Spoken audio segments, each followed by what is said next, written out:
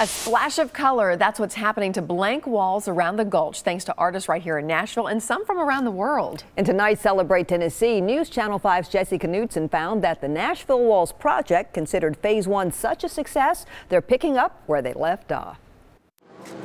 Polka dots and stripes. Very colorful, kind of looks like a tie collection. Almost forest-like. It adds a little bit of life, a little bit of color. Beauty is in the eye of the beholder.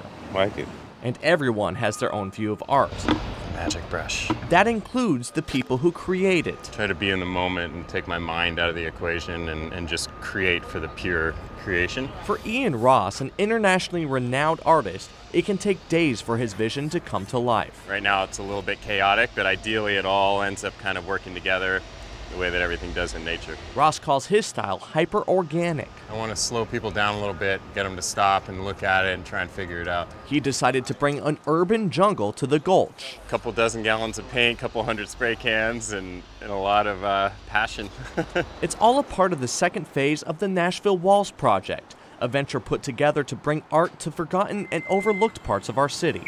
It's interesting when a wall has, has history and it has textures and blemishes. Uh, I think that adds to the whole thing. For this project, local artists were brought in to help. I'm going to have you guys fill in kind of up in that middle zone. And to learn. Good to get a little workout. My lats, man, they're sore this morning. Muralist Zydekahedron has put his own art on Nashville walls. When I moved here six years ago, there was like barely anything in town street art wise. And he says working with Ross, who has painted for clients like Facebook, is an honor. All the yellow highlights look great, man. As people walk by and take pictures, it's obvious. Uh, I'd never even looked at the wall before, so now definitely something to look at. These murals will leave a mark. The music is so prominent, you know, that art form probably just you know, dwarfs any kind of like visual art reference that you might hear of. Um, but I think it's something that's starting to, to pop up more and more here. In the jungle of glass buildings known as the Gulch, these walls will definitely be something to notice. I think it adds a lot of social value to a neighborhood and it can be a catalyst for lots of good growth and it's something that I, you know, I'm honored to be a part of this area.